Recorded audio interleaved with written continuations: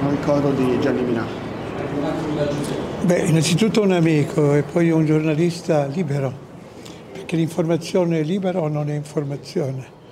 Un giornalista con la schiena diritta, capace di scendere nella profondità nella conoscenza delle persone. Le sue interviste erano veramente una consegna di umanità, la consegna delle fragilità ma anche della ricchezza umana delle persone.